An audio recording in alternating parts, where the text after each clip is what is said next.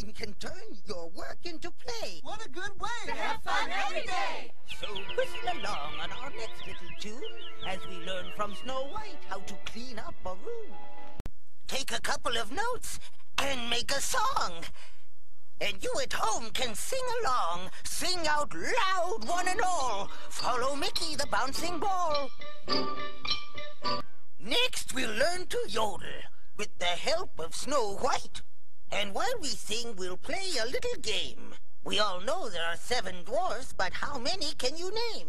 How many of you were able to recognize Happy, Dopey, Grumpy, Sleepy, Sneezy, Bashful, and Doc? Here's one more chance before our show ends to sing along with our little dwarf friends. See? What fun! Music's everywhere in every word you say. Why, what do you mean? well, what do you know about that? Oftentimes, singing can help to make you feel better. Where was I? Oh, yeah. I've been getting all these letters asking for this next song. This one's from Happy, this one's from Sleepy, this one's from Dopey, this one's from Snow White. Snow White? it's those cookie dwarfs again.